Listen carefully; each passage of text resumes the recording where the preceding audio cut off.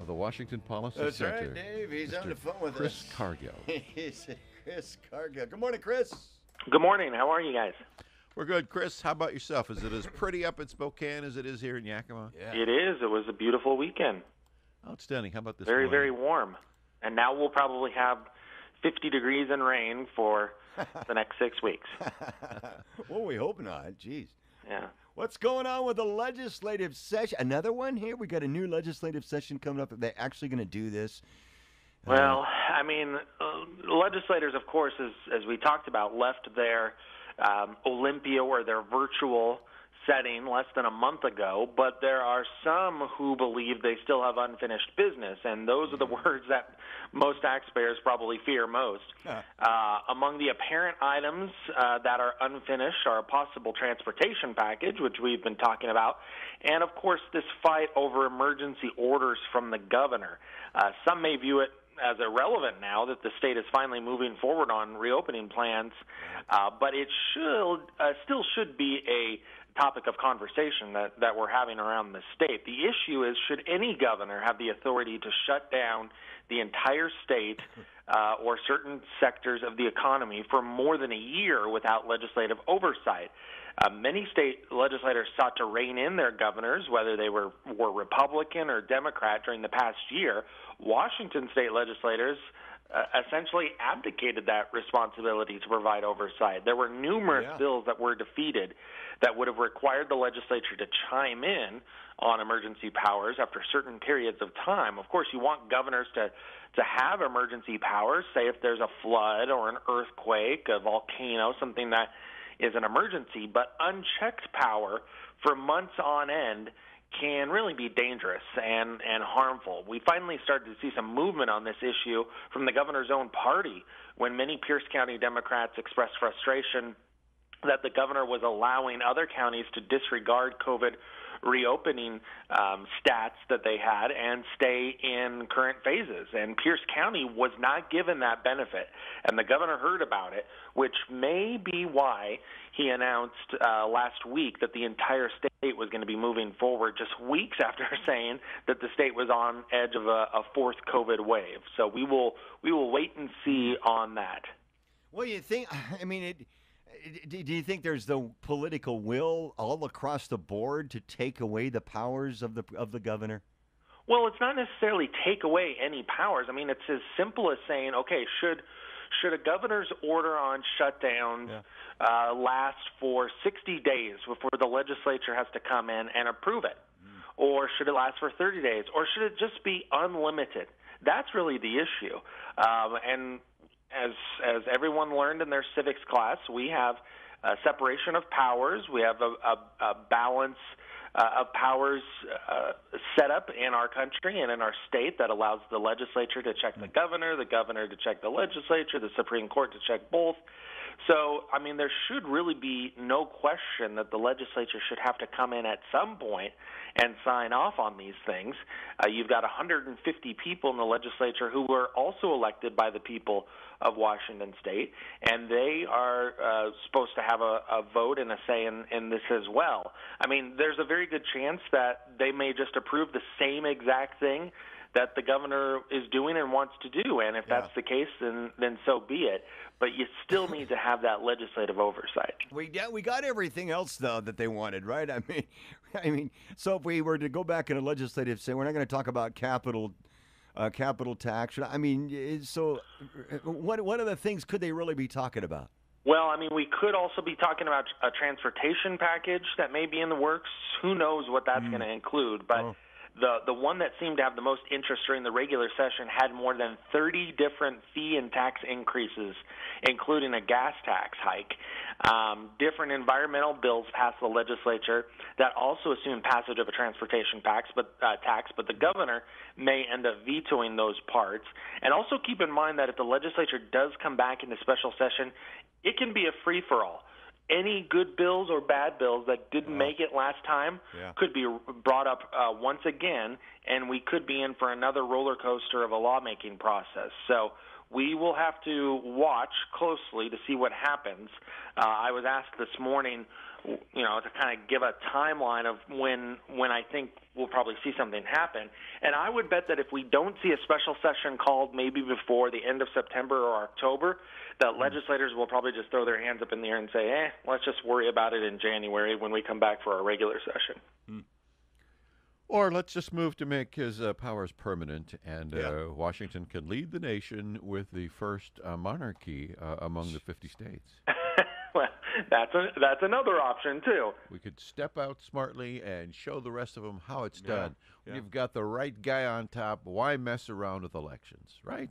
Well, and it, you know, you saw uh, states like Ohio and Idaho, and and and even some uh, talk about this in California as well. Come in and say, look, we want to make sure that we're we're checking uh, the governor's power, no matter who that governor may be. I mean, we have Republicans and Democrats in some of these states that the legislature have, has stepped in and said we want to be able to sign off on some of this stuff. Well, let's go to Michigan. How many other uh, Michigan's Supreme Court basically said, "Hey, governor, you've uh, overstepped." Did they not? Right, uh, and Wisconsin as well. So, yes, there have been other states that have that have stepped in. We have probably been the one state that has said, eh, "No big deal. Let's just let the governor do it." Our, our courts have said that. I mean, did we get that far with? Uh... Well, there, yeah, there were there were courts uh, in our states that heard uh, challenges to the mask mandate, heard challenges to uh, the economic uh, uh, economic restrictions that the governor had put in place, and the courts rejected those. wasn't the state supreme court; it was the lower courts, but the courts still rejected them. Uh, and part of the reason for that is because the legislature hasn't acted. The governor has extraordinary powers, and so those courts have just interpreted what's in the Constitution. And and quite frankly, you can't really blame those courts because they're just following what's in there and what the people has have approved um, in our state. But the question is, should the legislature go in and change that so that they have more of a say? Well, when you look, I mean, what, how is the Michigan Constitution written? The Wisconsin Constitution written? I mean, are they significantly different? That uh... when it, yeah, when it comes to the the executive branch's emergency powers, yes. Huh, wow. Well, shut my mouth and call me Slappy. call you Betsy. Yeah, I guess.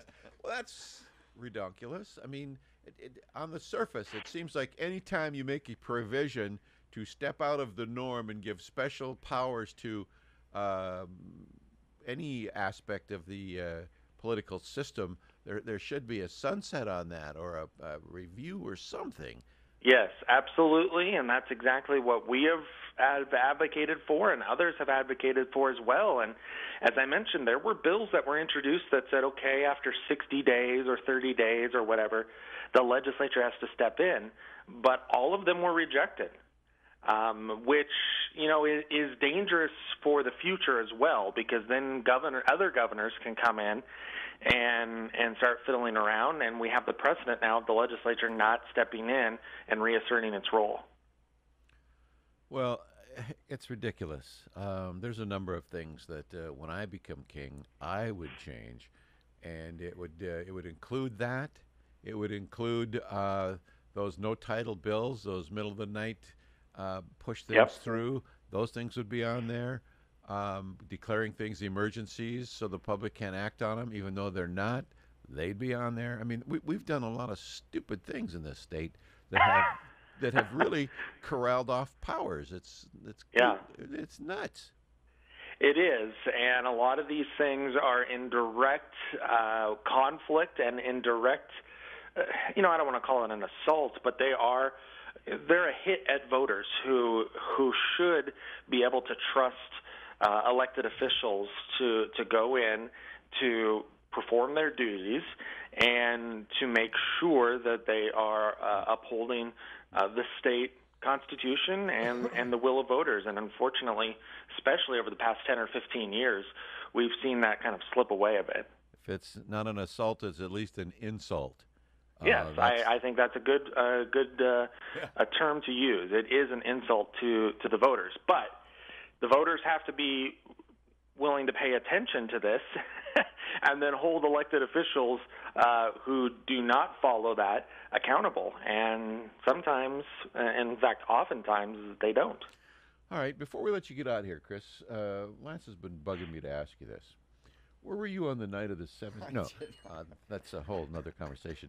Um, Chris, Cha- uh, uh, Lynn Cheney's out there. Yeah. Liz, Ch- Liz Cheney. Liz Cheney. Who's Lynn Cheney? Who's Lon Chaney? Lynn, Lynn is her mother, the former second lady. There you go. Um, so Miss Ms. Cheney is saying, if we don't watch it, the uh, incident at the Capitol could happen again. What do you say to something like that? We we've talked about that briefly on the show this morning and given our opinion about, you know, what it is, what it was, and what brought that about. What do you think when you hear her say that? Well, um, I would hope it doesn't happen again. I mean, that was a that was a terrible day um, that I think could have been stopped, quite frankly, by uh, not only a cooling of of the the temperatures and the the language that we were hearing from some parties, but also by better security. And if you look at the um, if you look at some of the tweets from the mayor of D.C. the night before uh, that uh, that incident on January 6th, uh, they were basically saying that they didn't want more troops, that they didn't want more security to come in and and protect things, to stay out essentially. And I think that's a dangerous uh, part of this whole conversation as as well. Um, you know, as far as the whole Liz Cheney uh, stuff goes, I mean, uh, look, you want your political party to have a, di- a, a diverse uh, set of opinions, and so that it's a large tent uh, and filled with a lot of different people. But at the same time, that doesn't necessarily have, mean that you have to have them in leadership um, in in your party as well. So the party gets to choose who's who are the leaders and who are not uh, the leaders, and and of course Cathy McMorris Rodgers, our congresswoman woman from Washington State, was in Liz Cheney's position before Liz Cheney, and she decided to step aside and let someone else have a have a chance, and now it looks like we're going to get someone else in that position as well. Okay. Um, I don't know that I'm going to give you uh, uh, an A on that one, and here's and here's why, Mr. Okay. Eastern Washington Director, Washington Policy Center. Um, I, I, I just don't. I just don't think that Ms. Cheney gets what that was about. How opportunistic it was, um, coinciding with a little bit of uh, outside planning. I mean, there was no attack, there was no insurrection. Half the people that went in there were gawkers, the other half were jerks. Um, I, I- don't see that's quote where the party is, and and I don't see any sort of event that's going to pull hundreds of thousands back there again. So something like this could happen. This isn't who the Republican Party is, and I think that to speak like that just says that she's out of touch. Can you concur, or must we disagree? I think I, I agree with some parts of that, not all. Um, I, I, I would, I, I, I hate to think what would have happened if some of those people who entered the building actually were able to get a Congress uh, person or a senator cornered in a room. Um, I, I don't know what would have happened, but I I have concerns for for what that means, both Republicans and Democrats. Uh, if if we just basically throw our hands up in the air and say it wasn't that big of a deal, um, I would hope that nothing would have happened to them, but I fear that something would have happened uh, to maybe make the situation even worse. I, of course, all this is hindsight, and you never know what's what's going to happen in the future. And I, I'm not one to stand here and say that this would never happen again, because it did happen just four or five months ago, and and who knows what what would happen in the future. Um, but I, I certainly hope that the better angels of our nature would prevent that from happening again, regardless of who's in power. Okay, well, I, I, I see it that there's a lot more uh, earthbound based decisions and considerations as to why it happened, and it wouldn't take uh, better angels to, to keep us from going there again. I, I think that was a, uh, you know, the a perfect storm of, of things that happened, and uh, Well, I hope you're right. I mean, I hope that that I hope it never happens again. Um, and let's just let's just pray that that's the case. Amen, sir. Amen. Chris Cargill, Eastern Washington Director, Washington Policy Center. Lance.